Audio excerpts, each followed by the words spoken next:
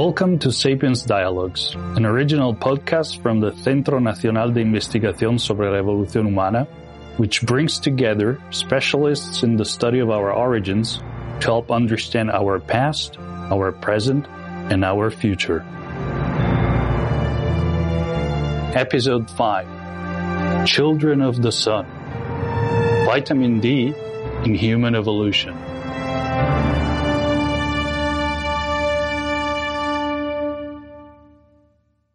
Hello, everyone, and welcome to another episode of Sapiens Dialogues. This is our original podcast from the CENIEH, where we seek to bring together uh, CENIEH researchers and scientists that are considered like experts in their fields from all over the world. Um, this is the case today, as you will see. My name is María Martinón-Torres. I am paleoanthropologist. I am the director of the National Research Center in Human Evolution, the CENIEH, where we are at today. And my research has mainly focused on the study of the dentition of the hominins that inhabited Europe during the whole Pleistocene with a very special focus in the Atapuerca sites. But because my background is in medicine, I have also developed an interest in evolutionary medicine and the extent to which medicine can really provide some light to understand our past. And this has been also covered in a recent book was a popular science book called Homo Imperfectus, where I have tried to bring together all these aspects, medicine and paleoanthropology.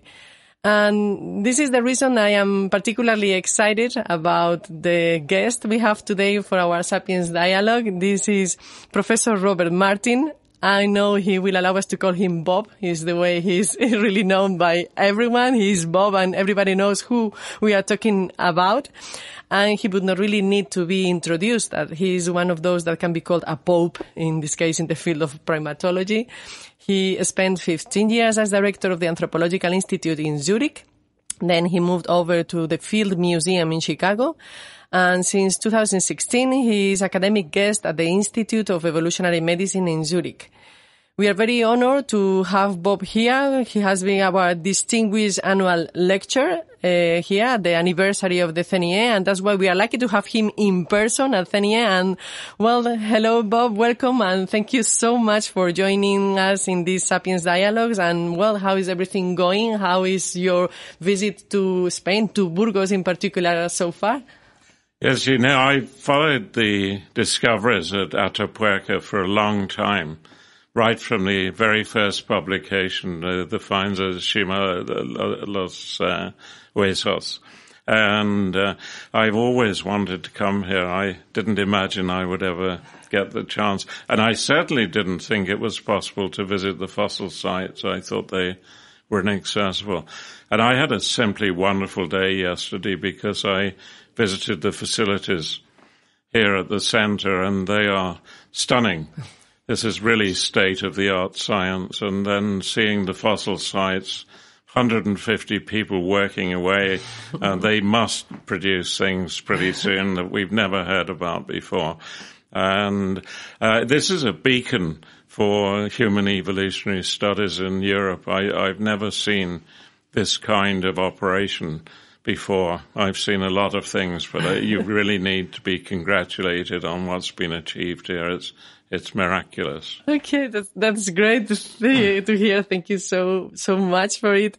We both were sharing a, like a medical twist in in our way of approaching in human evolution, no? So we were both like highlighting how important indeed it was to take into account health and disease to fully understand the the history of, of our lineage, isn't it? I always feel that these two fields have like evolved separately and they should be much more connected to understand our past. Yes, as you mentioned, I, am now an academic guest at the Institute of Evolutionary Medicine in Zurich. That was only founded about eight years ago, so it's a young institute and it's thriving. It's a really exciting place to be. There are people, most of them with medical backgrounds like you, and uh, using evolutionary biology as a, a source of ideas for curing human disease conditions. Today we have decided like talking about something that is very important in general, not only for scientists, but I would say society because we are like still perhaps seeing the light at the end of the tunnel of this epidemic with the COVID. But it seems that now society is very aware of health and disease and vulnerability, no? So we make more questions indeed about our health status, how, how we are vulnerable or not. We thought we were a very successful species and we now feel that we may not be as strong as we thought. And in particular, talking about epidemics, uh, we are going to be talking about vitamin D and how indeed this vitamin D we are all familiar with, uh, how this need of vitamin D has been a driving force in many aspects of the evolution of our lineage and that this vitamin D is very, very important. But there is a sort of silent epidemic. So there is really a, a world epidemic in the deficit of this vitamin D, which I was, I don't know, maybe you can tell me better numbers of the ones that I'm familiar with, but I will say that they say that 70% of European populations have something like vitamin D deficiency. And even for Spain, which we, we consider ourselves, no, the, the País del Sol, like the country of the sun, like half of population have a deficit of vitamin D. So that's a real situation, isn't it? Absolutely. Uh, one thing I want to say at the outset, I mean, you use the word epidemic. I would call it a pandemic. We're just coming out of a pandemic of uh, coronavirus that's lasted over two years. And uh, vitamin D, as you said, is a silent pandemic. It's, uh, it affects uh, enormous numbers of people around the world, and probably vitamin D deficiency has killed far more people than coronavirus uh, over time because it's gone on for years and years and is really worldwide uh, in its reach. Uh, to me, it's a classical example of evolutionary medicine because the background to vitamin D deficiency is an evolutionary one very clearly. We originated in Africa as a, uh, as a species, uh, um, a bit further back as well. Uh, so our lineage is, is imprint, imprinted with conditions in Africa.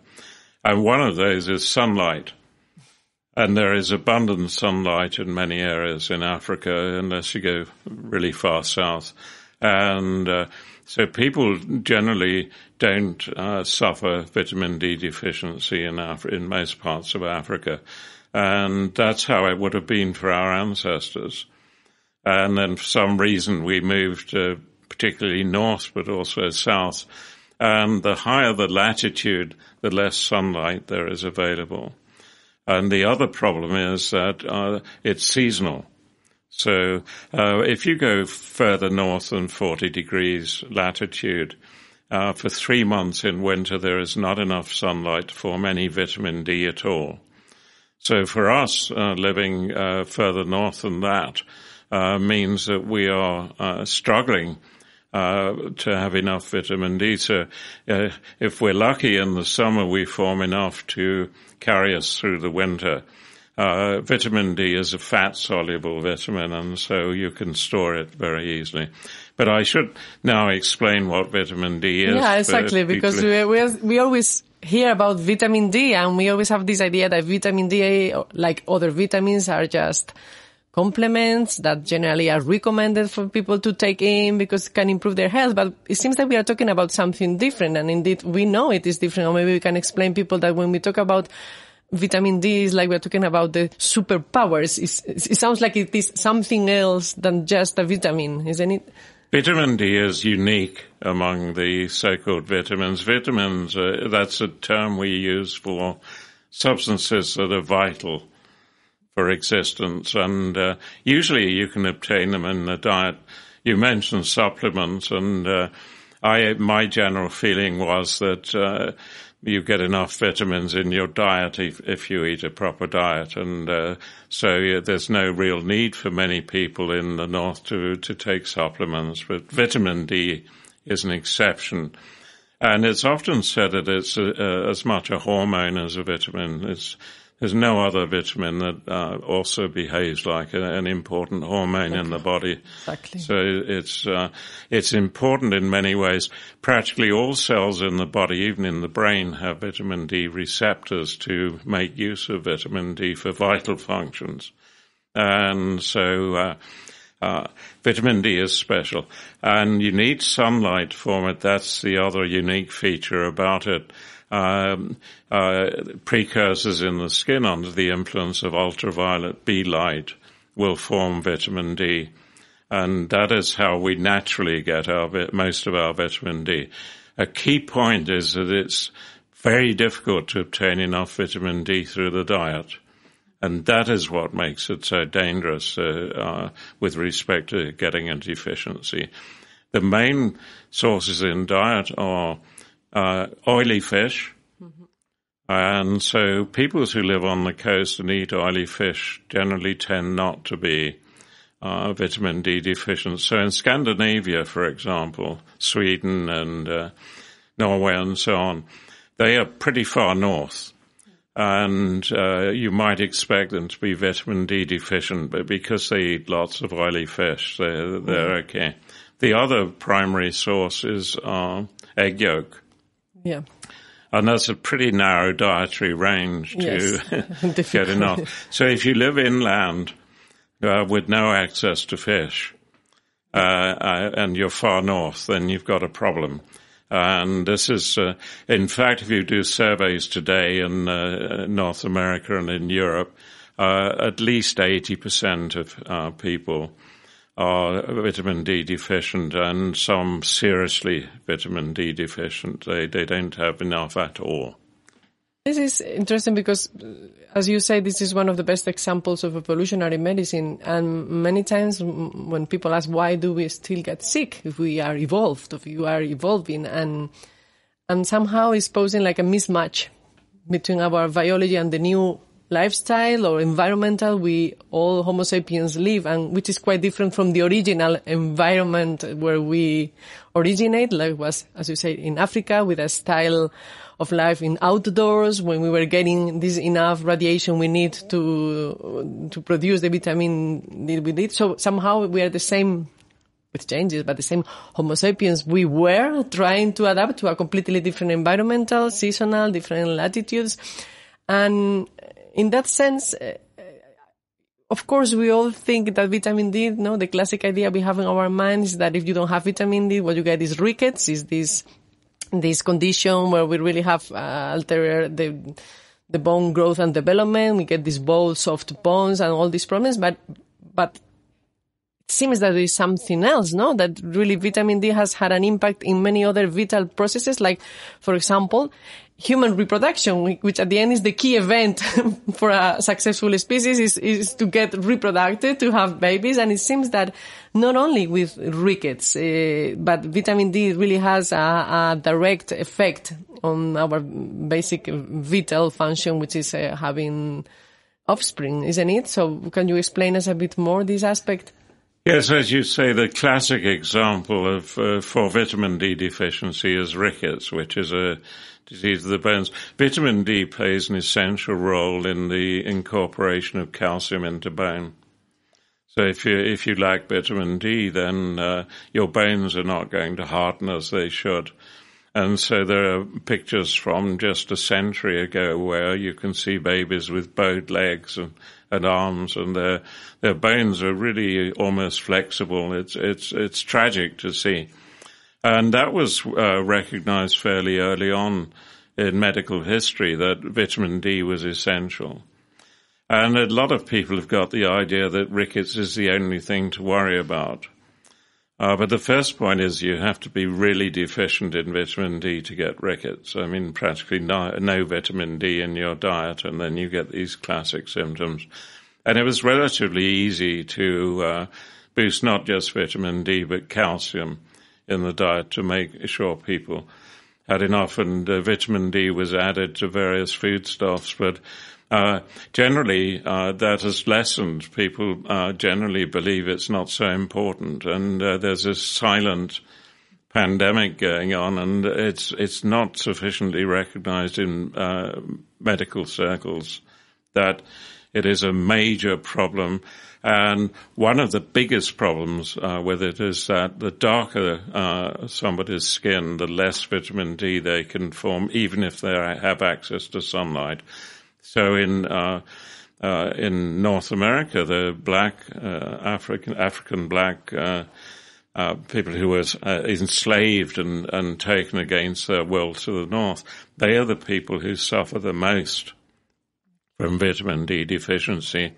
And it's generally known that in uh, in the United States, for example, people with uh, dark skin, particularly African Americans, uh, have more disease problems than uh, Caucasian white uh, members of the population. Uh, but nobody mentions vitamin D as a factor in this. Vitamin D is really, relatively cheap. It would be very easy to give everybody supplements of vitamin D at low cost, and the problem would go away. Yeah, but why? Why is this measure not being taken? It would be relatively easy to. I, to I really do not understand it. things. One of the problems is that medical science has set certain values. The World Health Organization gives a certain range of values where you need to be with your vitamin D uh, content, and uh, that's too low. There's lots of research indicating that you should at least double the values that WHO and uh, doctors around the world are, are citing.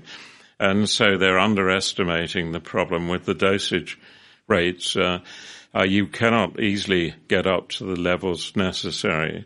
And only recently I found out about D, uh, vitamin D levels in hunters and gatherers, people living under relatively natural conditions. And they have vitamin D levels in this higher range Okay. that I regard as essential. And so uh, my doctor kept telling me I was fine with vitamin D. And once I'd read a certain amount of research papers, I realized that I I needed not. to go above that. So that's the thing. There are many things. I, for example, would like to highlight something. Uh, uh, this is a topic that we are very aware of, which is the role that vitamin D has in the immune system. Yes. If we really look at evolutionary medicine, we see that many of the changes our species has gone through in, in, in our short history of 200, 300,000 years are really those trying to reinforce our immune system. That the big challenge indeed for Homo sapiens is to try to cope with uh, defense to new pathogens, to new challenges. Indeed, we even know, for example, that from our interbreeding with Neanderthals, this one to four percent of of genes that we keep from this introgression represent more than the 50% of the genes that in our system are involved in the immune system, in the defense. So it seems that it, this is like the, the leading force for our evolution is to defend ourselves from, from infections. And we have seen this related, for example, with, with the COVID. And indeed, if I am not wrong, it has been said that this lack of vitamin D may have even an impact in, in our susceptibility for COVID uh, disease, isn't it? Absolutely. You've really put your finger on the core problem here, which is that the immune system depends on adequate levels of vitamin D. If you don't have enough vitamin D, you're generally more susceptible to viruses and uh, to cancers as well. And in fact, a classical example involving the immune system is multiple sclerosis, which is a degenerating disease where, where it's an autoimmune disease where your own immune system is attacking your nerve fibers. And uh, it, it uh, one of the uh, simple indicators that you have a problem with vitamin D is is simply looking at maps of the occurrence of certain diseases. You look at the United States, vit- uh, multiple sclerosis is twice as common in the northern states of the United States than in the south. And that is directly correlated with the amount of incoming ultraviolet light. And so epidemiologists recognized fairly on uh, that this was true of cancers. Cancer of the colon shows exactly the same distribution. The further north you live uh, in the United States, the more likely you are to get cancer of the colon. Cancer of the prostate is similar, breast cancer. And so uh, cancers, which are tied up with the immune system pretty closely, also show an association. One of the problems has been to get hard evidence that you need vitamin D uh, to protect you against multiple sclerosis and cancers.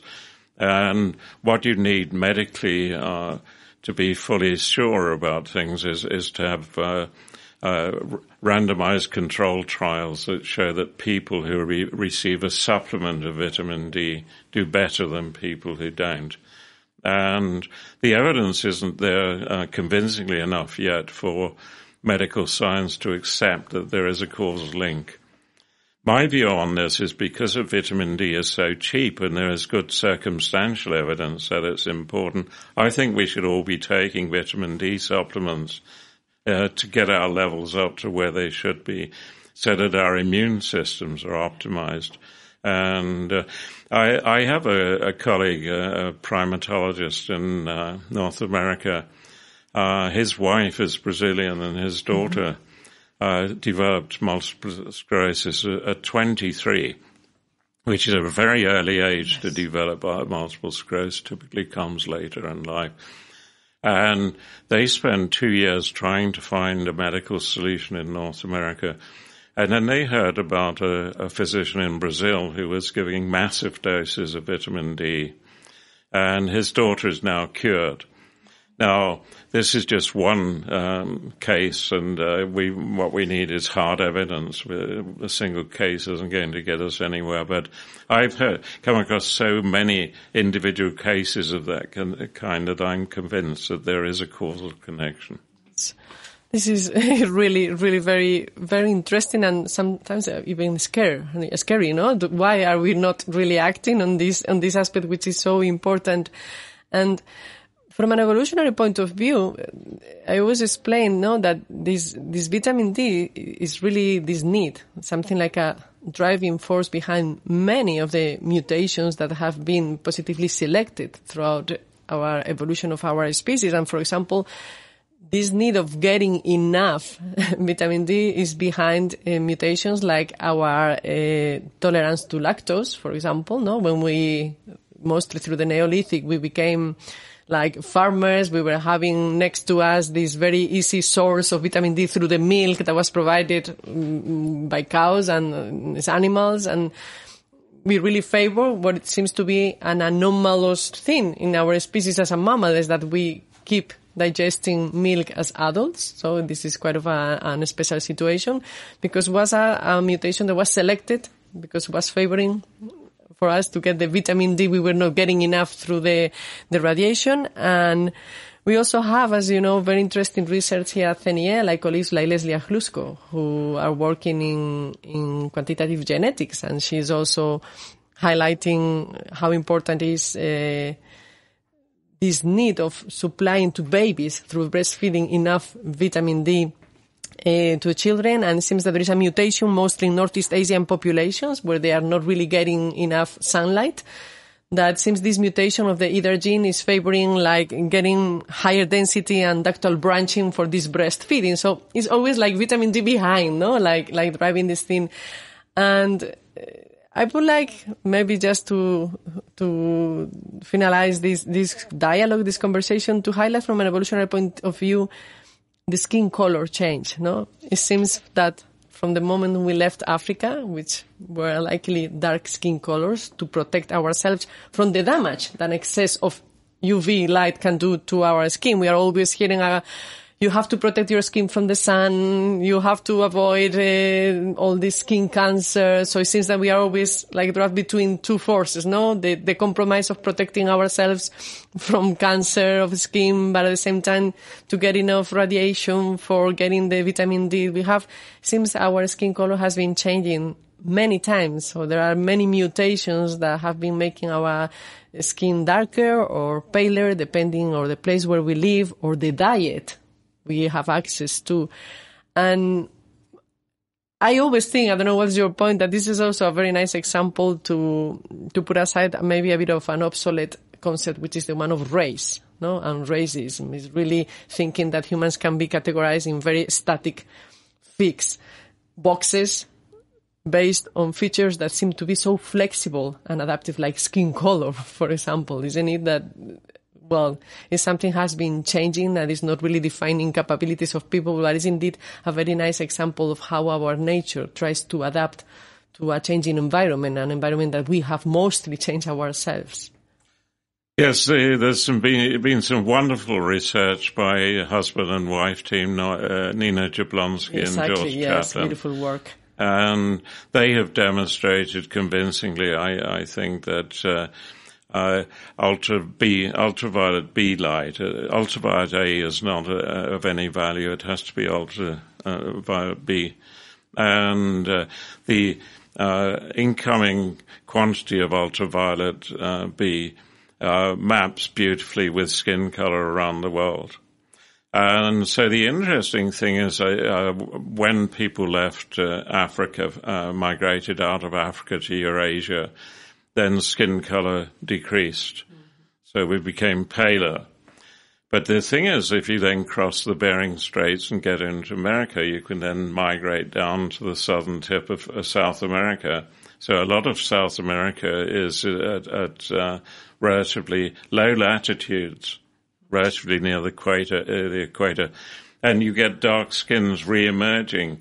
Uh, in a different way. So this is true, uh, always true when convergent evolution occurs, that you get a similar effect. The skin becomes darker, but it's in a different way to the original coloration of the skin.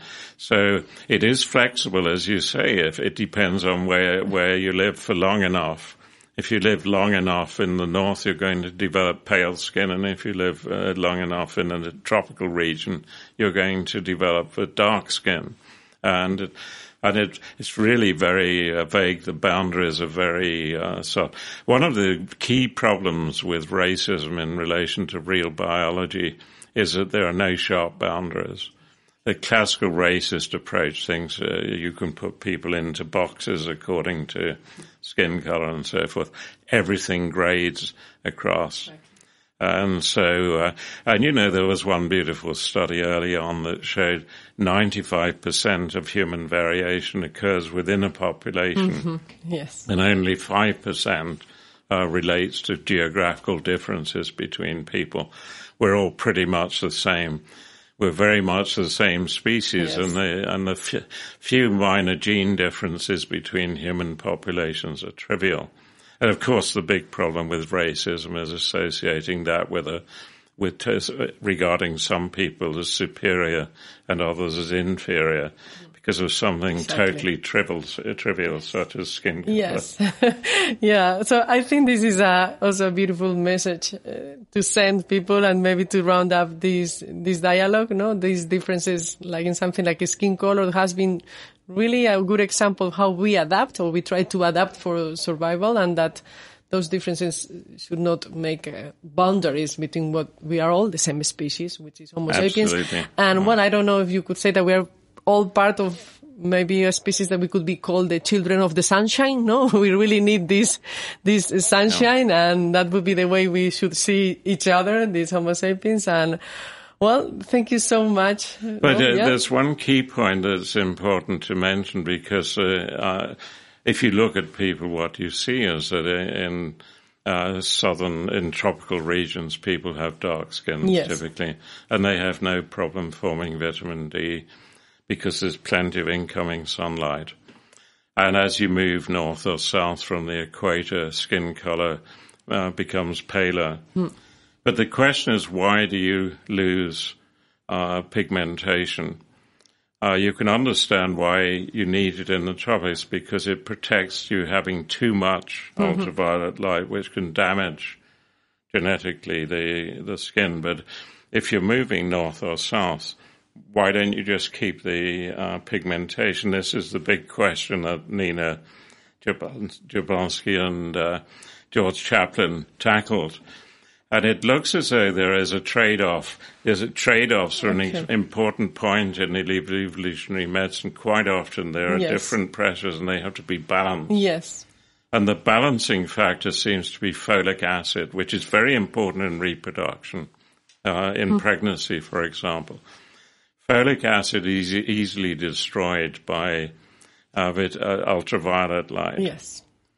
And so if you if you move north, uh, there's less ultraviolet light, and you don't need the pigmentation to keep the ultraviolet light in uh, coming in, and so you, you, uh, despite the low level of ult- ultraviolet light, you get enough by removing the pigmentation from the skin. Yeah.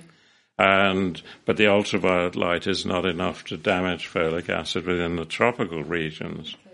The pigmentation stops you from getting too much ultraviolet light. It's a very interesting story. It is interesting. Yeah. Indeed, we see now we're always in this battle, no, these compromise uh, solutions, no, to try to, to balance exactly. dangers and benefits of, of the same exactly feature, compromise. No? And I just want to uh, point out uh, in, uh, at the end of this conversation, you mentioned COVID. Yeah. And the the evidence, of course, is only just emerging. Uh, emerging. We've only had COVID for less than three years. Yes. So medical studies are really just beginning, but they're enough already to show that if you have plenty of vitamin D, you are far less likely to get the infection in the first place. If you do get infected, you're far less likely to die if you have vitamin D in the range that I regard as optimal. And uh, that's uh, the one study showed that virtually nobody died from COVID above a certain le- level of vitamin D. Wow. And it's well known in the United States, African Americans have suffered far greater mortality than people with pale skin in North America. Nobody's mentioning vitamin D. This is quite surprising. yes, the facts seem to be so clear, and then it's like we're not For taking yes. action. Yeah, so I think, well, this is an interesting um, message, and I think a good example of how the study of the past can also shed light on needs we have now at present. And well, thank you so much, Bob, for being here, sharing with us your knowledge, for having this very interesting conversation. Entirely my pleasure. and then, yeah, I hope like after this conversation with, of course, recent protection or uh, reasonable protection, sorry, like people get out outside and still make a bit happy the, this hunter gatherer that we all still have inside and that is really claiming the, the sun that we still need to thrive and, and to live as a, yeah, as a children of sunshine that we are. Thank you so much. I think I just uh, as a take-home message, I would advise anybody to have their vitamin D level measured by their doctor. Exactly. I think it would be the first starting point to realize about this silent oh. yeah, pandemic we, we may be going through. Because 80% of people listening to this have too little vitamin D yes, circulating. Exactly. So you that you are listening to us, check your vitamin D level and you may be surprised. And as you have seen today, there are many, many different aspects. This vitamin D has influenced the evolution of our species and many other species indeed, uh, hundreds, thousands of years ago. And well, this is exciting to think uh, that at least there is something we can do about it, isn't it? So let's do it. Yeah. Thank you. This podcast has the collaboration of the Fundación Española para la Ciencia y la Tecnología, FECYT, and the Ministerio de Ciencia e Innovación.